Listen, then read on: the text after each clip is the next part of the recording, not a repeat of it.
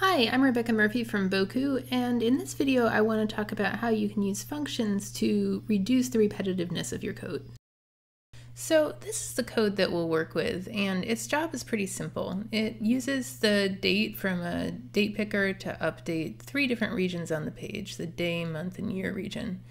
And then it uses a date from an end date date picker to update three other regions on the page, again, the day, month, and year. And it's pretty easy to see that this code is really quite repetitive. So, you know, these three lines are a whole lot like these three lines.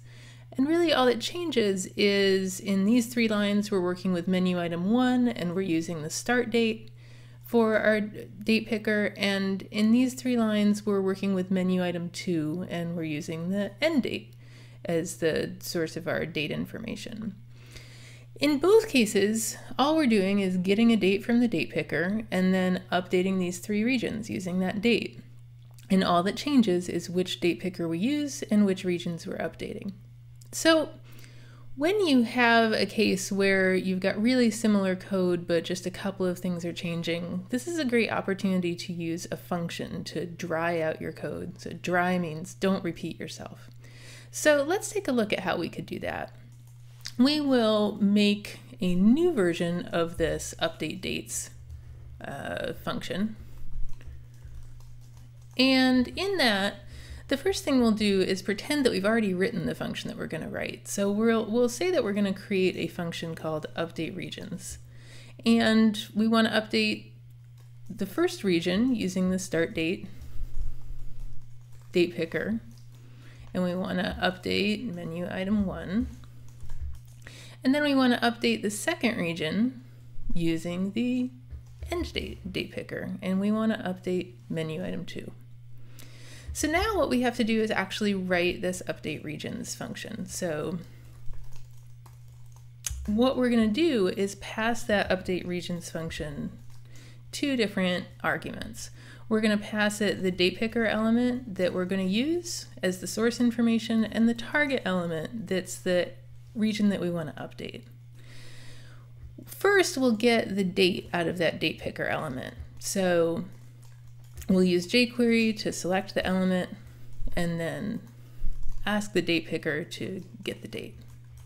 And then second, we'll get that, we'll get a handle on that target element again using jQuery. So now we have those two things that change and we have them in a, a, useful way so that we can work with them.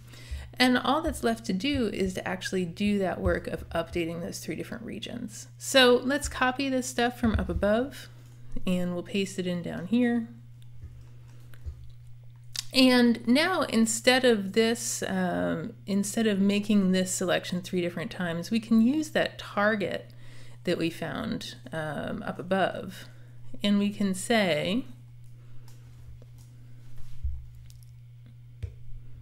that we want to target find and we want to find the day, month, and year. And then we want to update that not using the end date, but using this generic date variable that we just set up here.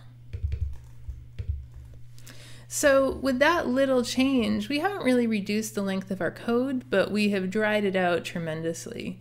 We have made it so that we aren't repeating ourselves like we were up here, um, saying almost exactly the same thing two times. We've wrapped that up in a function and we're just saying it once.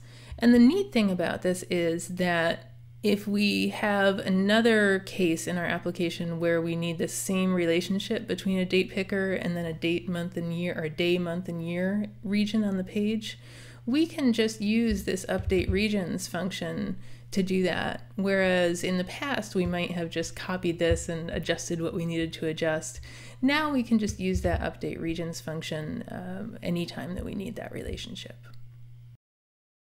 Thanks for watching. I'm Rebecca Murphey, and this was a Bocoup training production.